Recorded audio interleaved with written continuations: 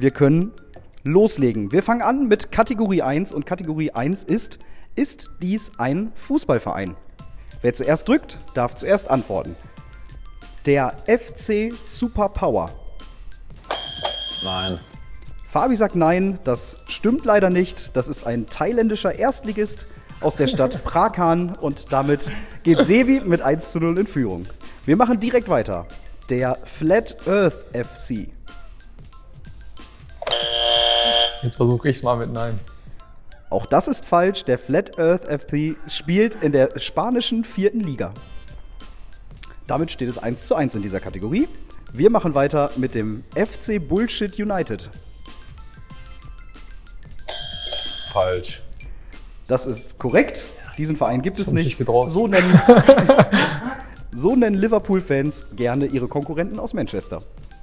Wir machen weiter mit dem vierten. 2 zu 1 steht es für Fabi. FC Kiffen 08.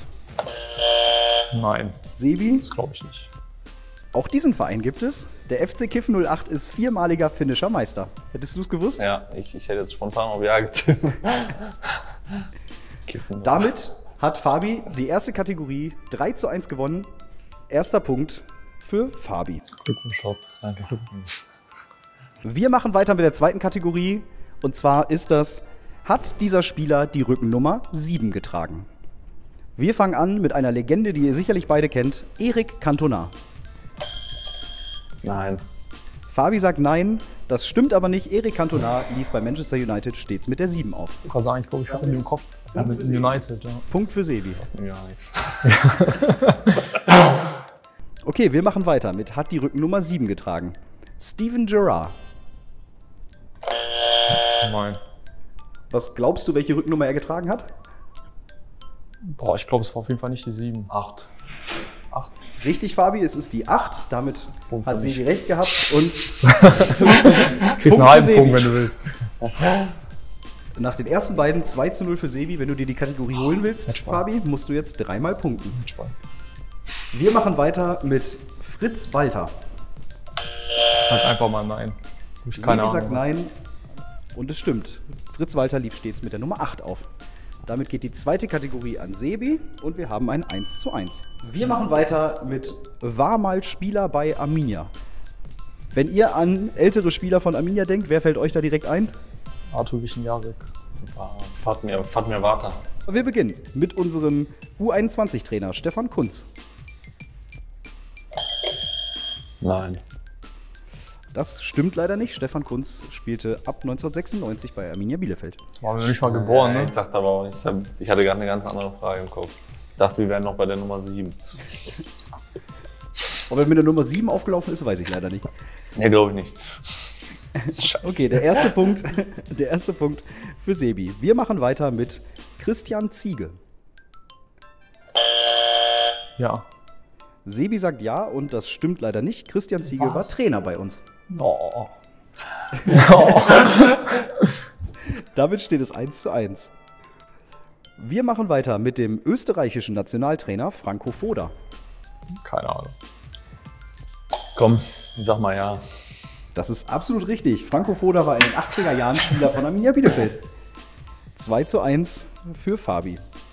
Wir machen weiter mit Arne Friedrich. Ja, Oh, das kam schnell. Das klang wie gewusst. Das klang wie gewusst, ja, ist richtig. Und ist natürlich absolut richtig. Jetzt Friedrich. schlechter Vor als Hertha. falsch. Vor Hertha war das. Damit hat Fabi diese Runde mit 3 zu 1 gewonnen und liegt Ah, aber 2 zu 1 schlecht. vorne. Oh, Erstmal einen Schluck trinken. ja, ehrlich. Okay, wir machen weiter mit der vierten Kategorie. Die vierte Kategorie heißt, ist dies eine Regel oder nicht? Wir fangen an mit der ersten Regel. Auf den Färöerinseln darf ein Mitspieler den Ball beim Elfmeterschießen für seinen Schützen festhalten. Ist halt die so ausgefallen, dass es stimmt. Vielleicht ist da ein bisschen hügelig oder sowas. Und sonst rollt der Ball da weg.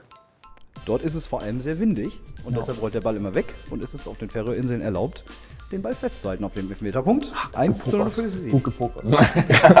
Gut kombiniert auch.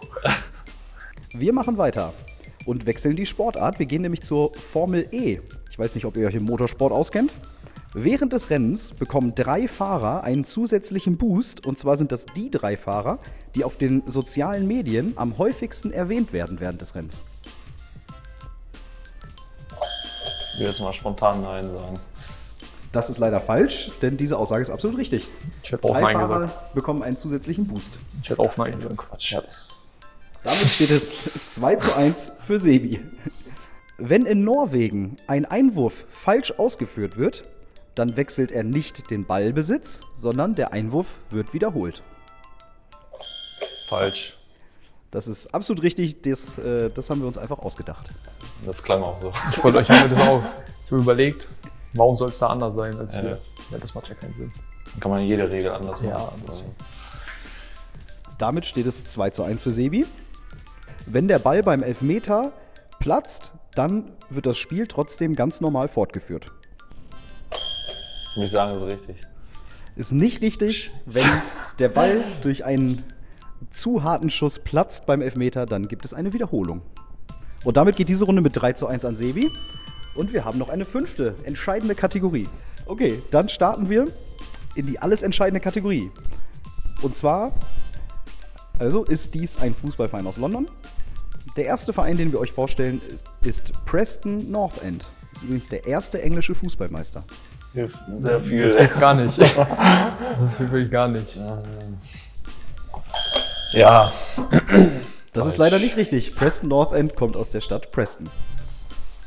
Wir machen weiter, damit steht es 1 zu 0 für Sebi, mit den Queen's Park Rangers.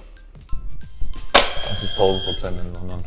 Das ist im Herzen von London. Die Queen's Park Rangers spielen an der Loftus Road. Damit steht es 1 Muss zu wir live 1. spielen? Ich warte einfach nur noch. Gab es da mal ein Angebot? Oder? Nee, noch nicht. Weiter geht's, 1 zu 1. Charlton Athletics. Nein. Das ist falsch. Charlton ist ein Stadtteil am Rande von London. Und damit kommen sie auch aus London. 2 zu 1 für Fabi Kunze, der jetzt hier den Sack zumachen kann. Matchball. Nummer 4. Es wird immer noch gesucht, ist dies ein Fußballverein aus London? West Bromwich Albion. Nein. Wo sollen die nämlich herkommen? Albion. Das ist richtig. West Bromwich kommt aus Birmingham. Wow. Damit geht diese Kategorie mit 3 zu 1 an Fabi Kunze und Fabi hat gewonnen. Äh, richtig oder nicht? Auf West Ham United gewartet, da hätte ich sofort getroffen. Ja, da wäre ich aber, da wäre ich noch schneller. Ja, das glaube ich, ey.